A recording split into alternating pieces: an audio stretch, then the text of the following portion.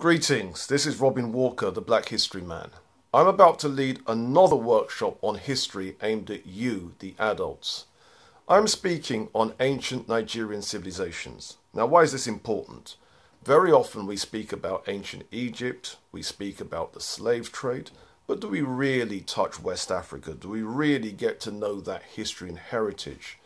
This is important information. It's new information. And we're going to be talking about information that will enable you to, for example, go to the British Museum, see the artifacts and be able to interpret and understand why they're important. I'm also going to link the history to wealth building principles. Did you know these 10 things about the Nigeria region? Number one, in central Nigeria, West Africa's oldest civilization, flourished between 1000 BC and 300 BC.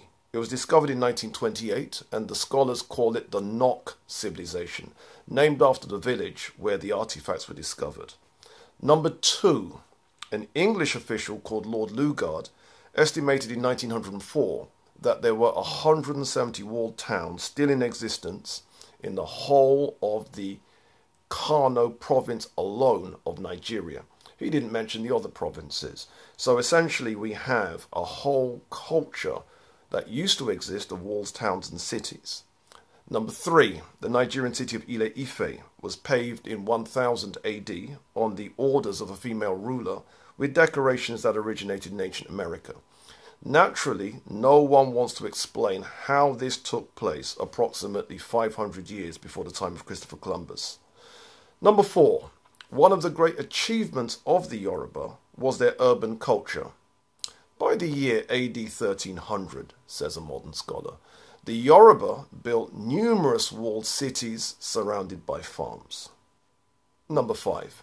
Yoruba metal art of the medieval period was of world class. One scholar wrote that Yoruba art, and I'm quoting now, would stand comparison with anything which ancient Egypt, classical Greece and Rome, or Renaissance Europe had to offer.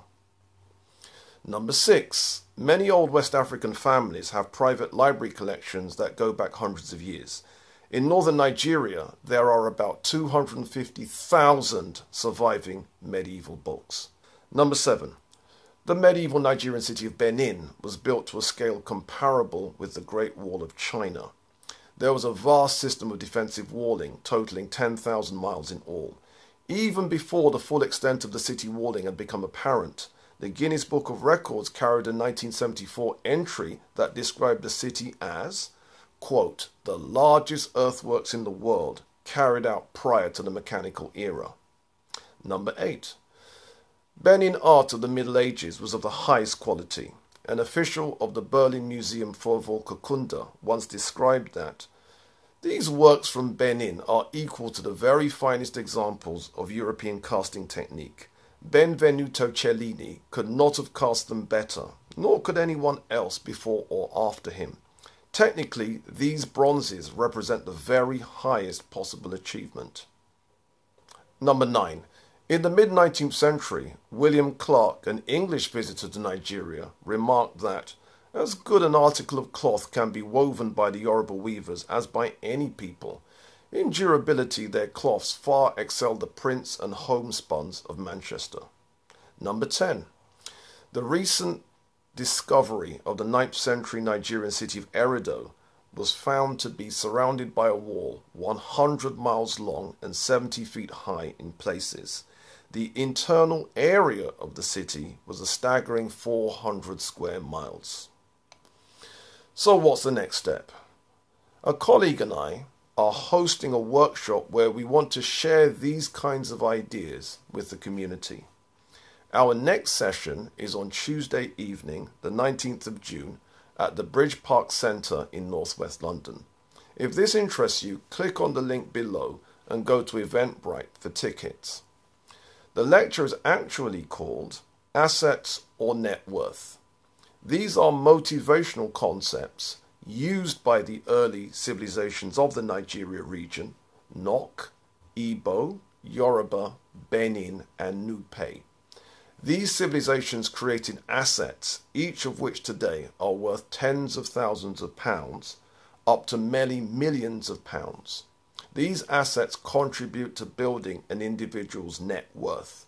My job is to make sure that you learn about these brilliant and enterprising Africans and be inspired by them. So, who would I like to see at this workshop? Beginners interested in learning black or African history but do not know where to start. Adults interested in personal development and what that leads to wealth building and entrepreneurship. And anybody else interested in West African history or even specialists interested in the history of the Nigeria region. If this interests you, click on the link below to go to Eventbrite for tickets. See you there on Tuesday, the 19th of June.